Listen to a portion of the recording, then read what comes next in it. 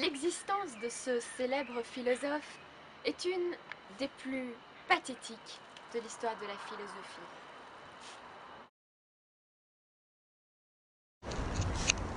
Friedrich naît le 15 octobre 1844 et son enfance se passe dans une atmosphère pieuse dans une famille protestante. Son père meurt alors que le petit Friedrich n'a que 5 ans.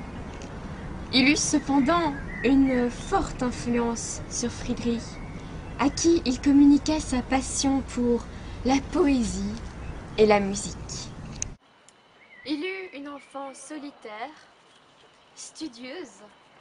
Tout jeune, il s'interrogeait sur la raison d'être de sa venue en ce monde. Dès ses 14 ans, il s'adonne à des compositions musicales et à l'écriture et compose sa première autobiographie. Il est hanté par le problème du mal. Son premier poème, qu'il écrit en 1854, est dédié à un dieu inconnu, à ce dieu artiste qui ne sort de loisir que pour échapper à l'ennui et jette dans l'espèce des univers qu'il abandonne ensuite avec indifférence à leur destin. Il entre à l'université à Bonn et étudie la théologie et la philologie classique mais il abandonne directement la théologie. Il découvre l'œuvre de Schopenhauer, le montre comme volonté et cet ouvrage aura une grande influence sur Nietzsche. En 1869, il devient à 25 ans, à 25 ans professeur de philologie à Bâle, bien qu'il n'ait pas encore son doctorat. Après quelques années de vie sociale, une amitié avec Wagner, et sa démission de l'université de Bâle en 79 pour raison de santé, il y a une douzaine d'années d'extrême fécondité littéraire. Seulement, Nietzsche vit dans une solitude atroce et est assailli de maux physiques. En 1889, il est atteint d'une crise de folie dans une rue de Turin.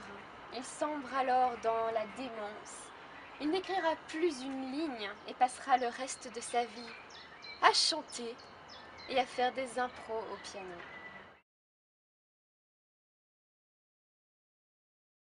C'est le premier philosophe à essayer l'écriture fragmentaire. Il est très littéraire par ce goût de l'aphorisme. Finalement, Nietzsche était à la recherche de l'innocence perdue. Il voulait vivre chaque instant authentiquement sans culpabilité aucune.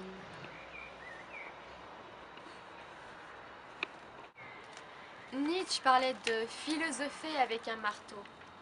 Et dans Crépuscule des idoles, il nous fait une critique radicale des valeurs et des idées phares du XIXe siècle. Comme par exemple la croyance en un idéal séparé du monde, l'idée de salut de l'âme, le bien et le mal.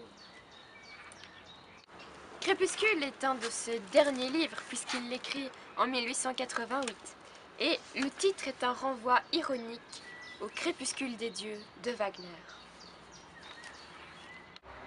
Idoles, ce sont des dieux, mais aussi des idéaux, des valeurs, des mots et euh, des mots encore jamais interrogés et dont Nietzsche prévoit la fin.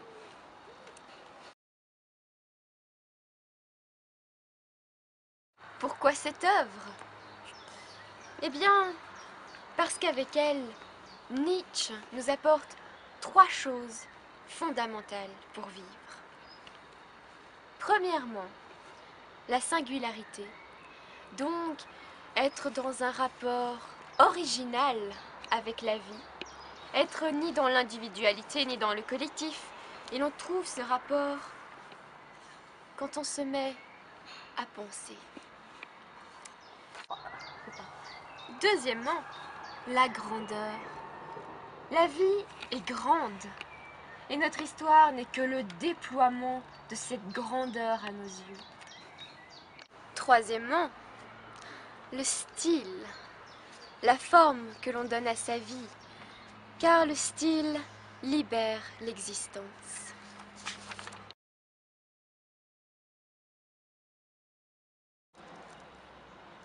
Crépuscule est séparé en douze parties.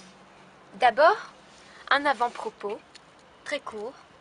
Ensuite, plusieurs parties comme le problème de Socrate, où il parle de ce grand sage, le premier décadent.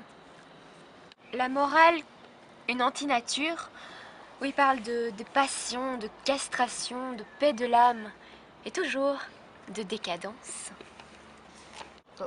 Les quatre grandes erreurs, qui sont en fait la confusion de la cause et de l'effet, la fausse causalité, les causes imaginaires et enfin le libre arbitre. Ce qui échappe aux Allemands, eh bien, c'est contre la décadence de la culture allemande, qui doit apprendre à penser, à parler et à écrire. Enfin, un extrait d'Ainsi par les Zarathustra, Le marteau parle, qu'il considérait sa plus grande œuvre.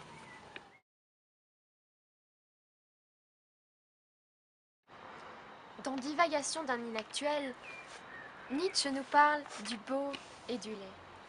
Finalement, c'est notre idée du beau qui fausse tout, car le beau en soi n'est qu'un mot, ce n'est pas même un concept. L'homme croit que le monde regorge de beauté, mais il oublie que c'est lui qui a donné sa beauté au monde. L'homme se mire dans les choses et tient pour beau tout ce qui lui renvoie son image.